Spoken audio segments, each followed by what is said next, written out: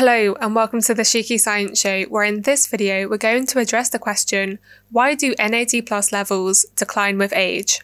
And to help me address this question, I'm going to use two recent Nature publications that have both investigated the involvement of CD38, an enzyme that degrades NAD plus, and how its activity and expression is regulated and changed during aging. So to break this video down, I'll begin by giving some background to what NAD plus is and introduce you to what is a very complicated metabolic pathway. But don't worry, I won't make it complicated.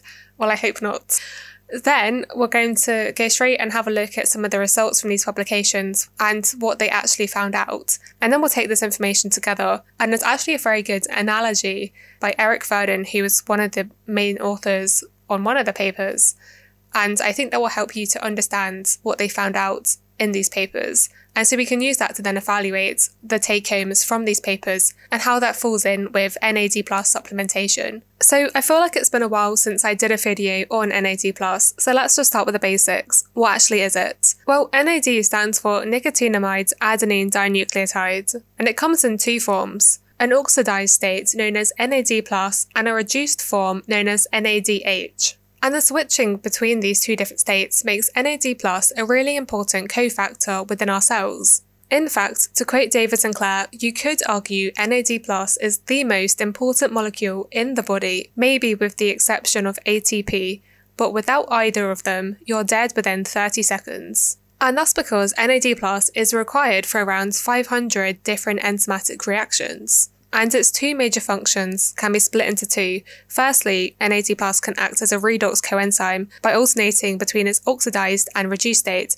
and that's really important for metabolism. But NAD is also used as a substrate by NAD consuming enzymes, and these include sirtuins and PARP1, and also CD38. I've spoken about SIRT1 in a previous video, and PARP1 are proteins that act in response to DNA damage, and you'll learn more about CD38 in this video. So hopefully from this it's pretty evident that NAD plus is a pretty important cofactor within our cells. However, NAD plus levels have been shown multiple times to decline with age. And so there's a lot of hype and excitement around being able to boost these NAD plus levels as we age to counteract the age associated consequences of having low NAD plus levels. To be able to do this though, we need to understand why NAD plus declines in the first place. And there are two main reasons for this. Either the production of NAD plus declines or the consumption of NAD plus increases. And these aren't necessarily mutually exclusive, they could both both be happening. And so here I'm using the analogy of Eric Verdin, the current president of the Buck Institute, who's also one of the main authors on one of these recent Nature publications. And he uses the analogy that if we consider NAD plus as being the water source, then NAD plus production would be the faucet and NAD consumption would be the sink.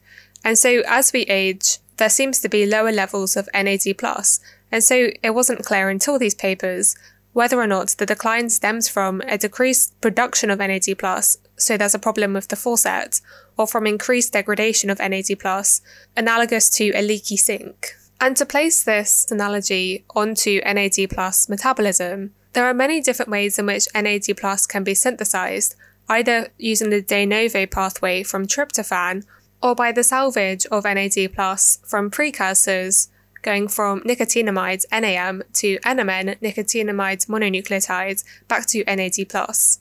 And as you can also see on this diagram, NAD plus can be consumed by three different enzymes, sirtuins, CD38, and PARP1. Now, previous work has shown that the protein levels of CD38 increases during aging, and this can be seen in multiple tissues. Mice, completely lacking this protein, were protected from age related NAD decline, and they also had enhanced metabolic health and mitochondrial function. And so this was suggesting that CD38 is a primary NAD plus consuming enzyme, potentially responsible for age related NAD decline in the tissues. But it raises the following questions. Why is CD38 increasing in expression, and what cells are expressing this CD38? And so these are just some of the questions that these two Nature publications were trying to address. The first one is senescent cells promote tissue NAD plus decline during aging through the activation of CD38 plus macrophages. and the second one focuses a little bit more on CD38. CD38 ectoenzyme in immune cells is induced during aging and regulates NAD plus and NMN levels. Now, both of those titles are quite mouthfuls, so let's break it down. So, the first study that has come out from the Buck Institute was more focusing on which cell types are expressing CD38, and what they found was that high levels of CD38 were being expressed in M1 like macrophages. And this could be seen, in particular, in white adipose tissue and within the liver of mice. And this increased expression of CD38 within these M1 like macrophages was associated with reducing the tissue NAD plus levels. And these M1 like macrophages accumulated during aging and acute responses to inflammation. Now, macrophages are a type of immune cell, and so they can be activated in response to inflammatory factors. So it's interesting to note that the authors found that senescent cells were accumulating also in the white adipose tissue and the liver during aging, a key feature of senescent cells being the secretion of this senescence associated secretory phenotype that includes inflammatory factors. Now, if you want to understand what senescent cells are better, then I recommend you watching one of my previous videos talking about senescence. Um, I just haven't really got time to go into too much detail here. And so, as I said, these senescent cells have a secretory phenotype, and one of these factors is the cytokine interleukin 6. And the authors showed that interleukin 6 alone was sufficient to induce CD38 expression in macrophages. And so this made a connection between the SASP, the secretory phenotype of the senescent cells, and this activation of these M1 like macrophages expressing CD38. Now, if you're wondering what the M1 of M1 macrophage means, it just refers to the type of macrophage, there being M1 and M2 macrophages. And so, a general take home from this first publication is that aging related inflammation is enhancing NAD degradation due to an increase in CD38 levels in M1 macrophages. Now, some of the findings within this first paper are validated by the second paper. However, in the second paper, they focus a little bit more on the receptor, which is CD38, and how the NAD levels change when the CD38 is inhibited.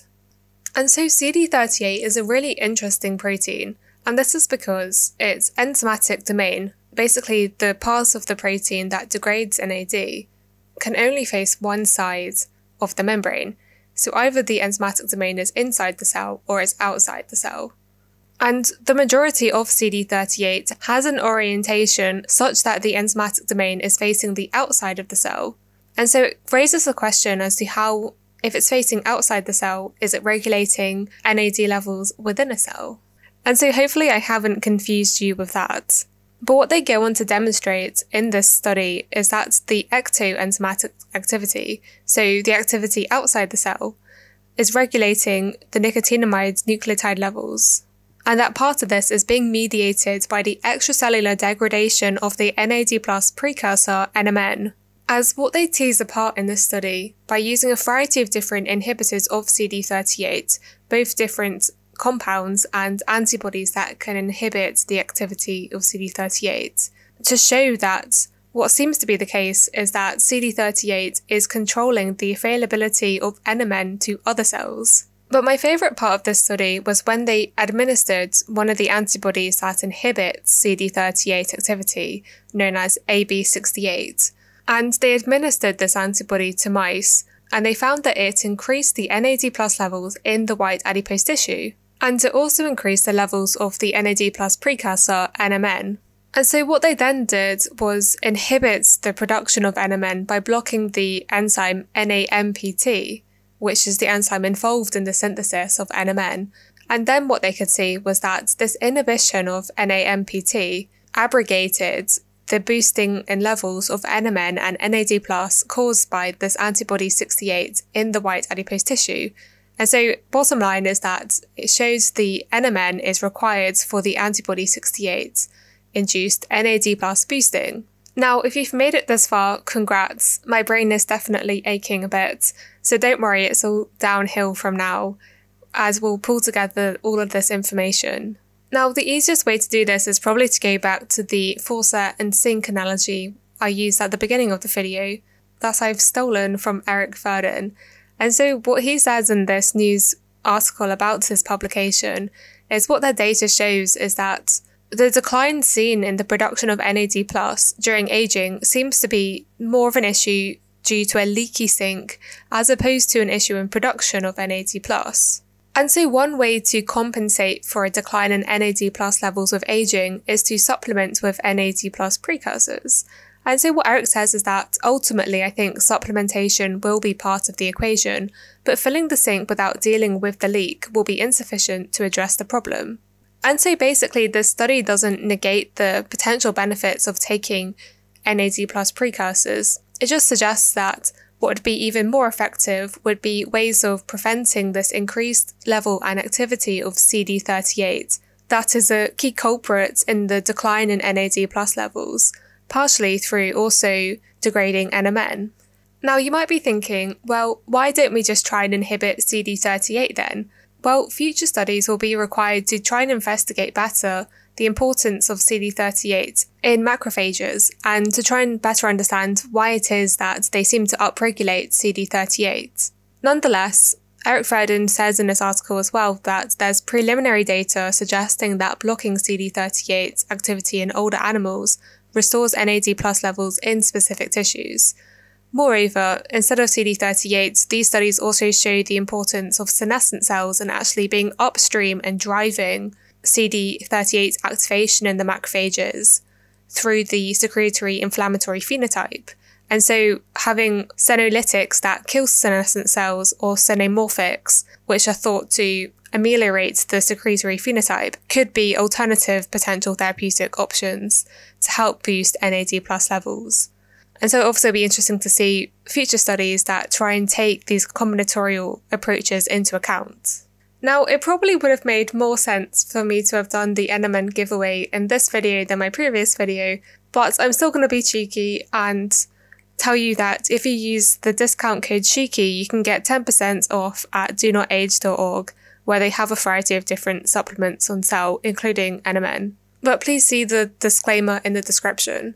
And so congrats again for making it to the end of this video. I felt like this was quite a challenging one. At least for me, reading both those papers was a big toll in my brain. but they were really interesting papers. Um, it was a good pain. Um, anyway, hopefully you've learned something in this video, and as always, thanks for listening.